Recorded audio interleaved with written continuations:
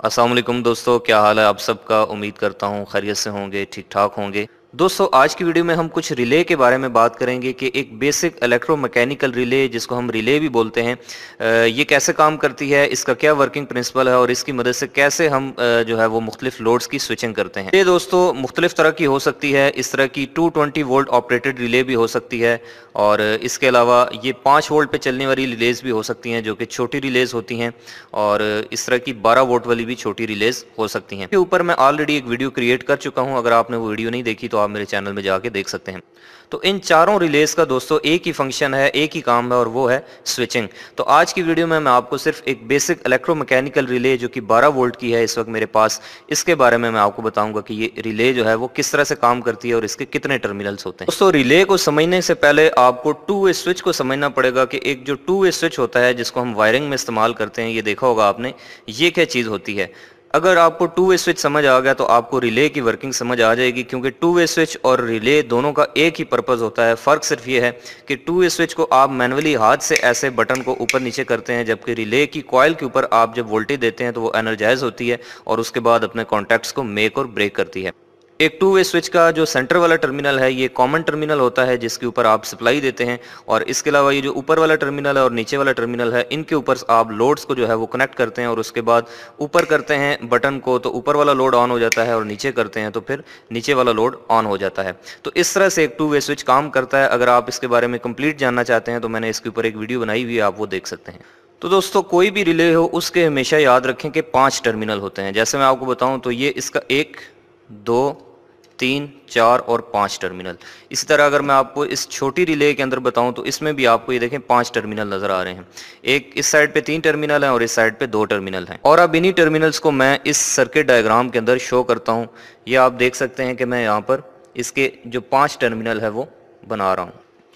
बिल्कुल ऐसे ही दोस्तों, जैसे आपको यहाँ पर इसमें इसके पाँच टर्मिनल नज़र आ रहे हैं, मैंने यहाँ पर इसके पाँच टर्मिनल जो है वो ड्रॉ कर लिए हैं।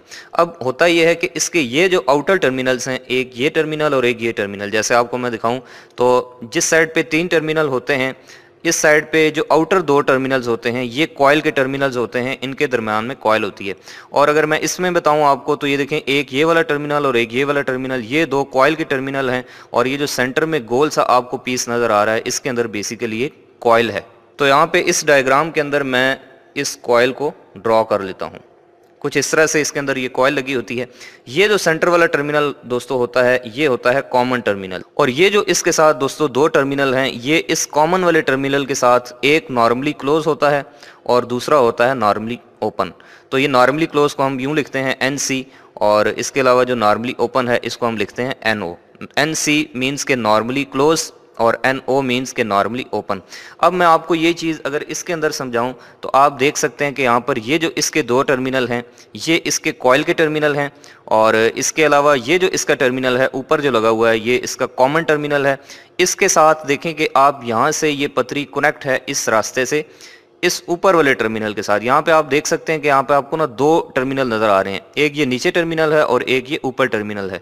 ये जो कॉमन टर्मिनल है, ये इस पतरी के ज़रिए, इस स्ट्रिप के ज़रिए, इस वक्त ऊपर वाले टर्मिनल के साथ जुड़ा हुआ है और ऊपर वाला टर्मिनल आगे आके यहाँ पे लगा हुआ है। तो ये जो इसका टर्मिनल है दोस्तों, ये टर्मिनल इस कॉमन टर्मिनल के साथ नॉर्मली क्लोज है।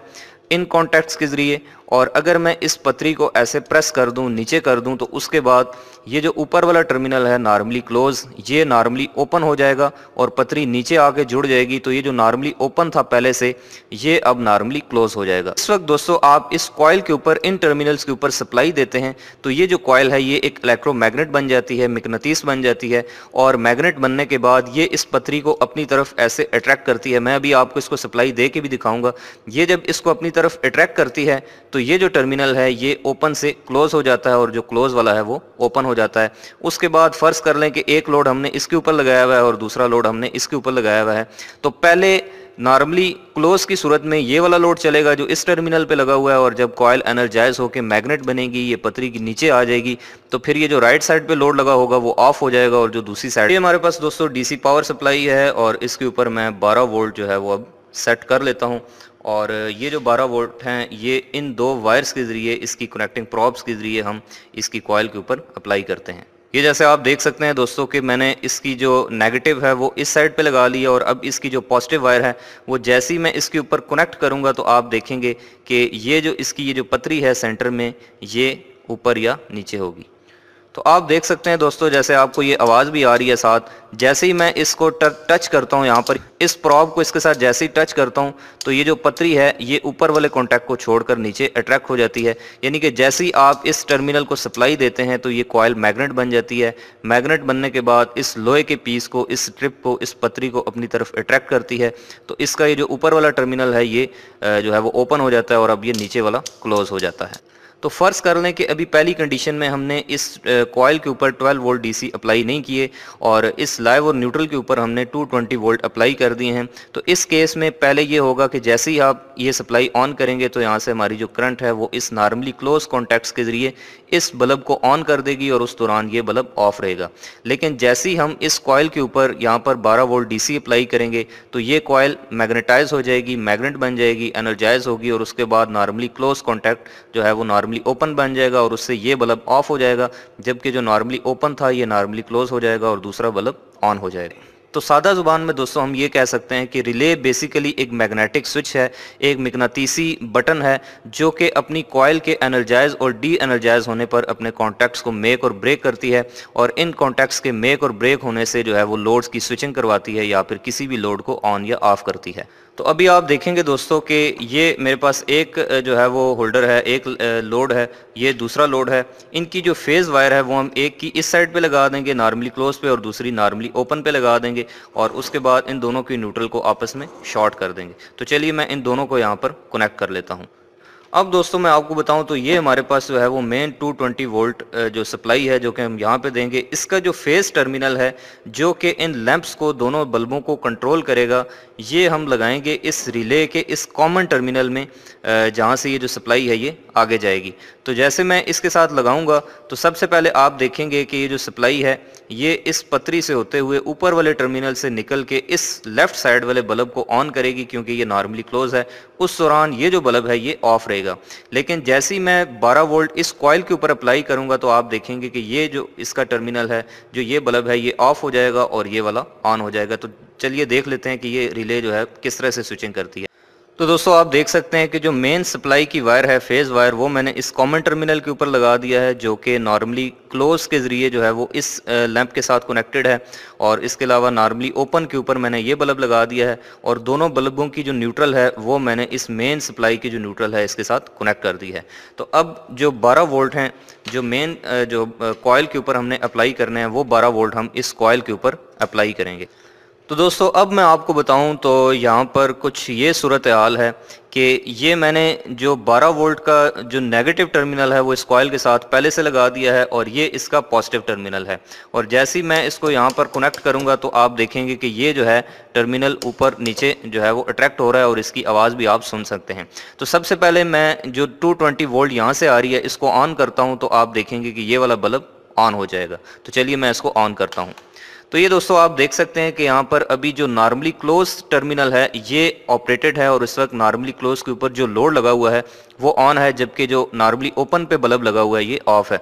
लेकिन जैसे ही मैं अब इस कॉयल के ऊपर इस टर्मिनल को टच करूँगा तो 12 वोल्ट इस कॉयल के ऊपर अप्लाई होंगे, जिससे ये कॉयल मैग्नेट बनेगी और उसके बाद अपने नॉर्मली क्लोज टर्मिनल को ऑफ़ कर देगी और नॉर्मली ओपन को ऑन कर देगी। तो ये देखिए, जैसे मैं इसको ऐसे टच करता हूँ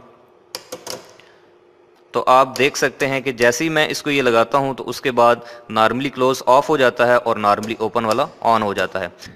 अब यही चीज़ दोस्तों, अगर मैं आपको थोड़ा क्लोजअप में दिखा सकूँ तो आप देख सकते हैं कि यहाँ पर ये जो आपको सेंटर वाली पथरी है, ये भी ऊपर वाले टर्मिनल के साथ कनेक्ट है तो वो नॉर्मली क्लोज वाला बटन जो बल्ब है, वो चल रहा है और ये जो दूसरी साइड वाला, ये ऑफ़ है।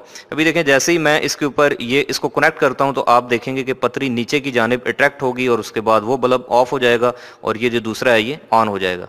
तो ये देखें आपके, जैसे ही मैं इसको कनेक्ट करता हूँ तो ये देखें पतरी नीचे की जानब अट्रैक्ट होती है।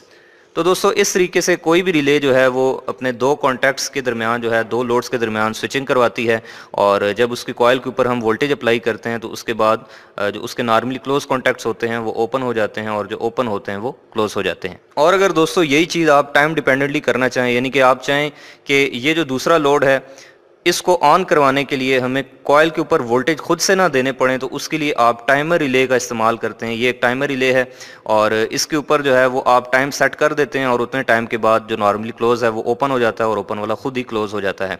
और इसके ऊपर मैं ऑलरेडी एक वीडियो बना चुका हूँ। डिटेल में अगर आपने नहीं देखी तो आप मेरे चैनल में जाकर वो वीडियो देख सकते हैं। तो उम्मीद करता हूँ दोस्तों के आपको रिले की जो प्रॉपर वर्किंग है और जो इसकी फंक्शनिंग है, वो समझ आ गई होगी। तो अगर आपको इससे वीडियो से कोई फ़ायदा हुआ है तो आप इसको लाइक करें और अपने दोस्तों के साथ शेयर करें। मिलते हैं नेक्स्ट वीडियो में, तब तक के लिए अपना बहुत सा ख्याल रखिएगा। अल्लाह हाफिज़।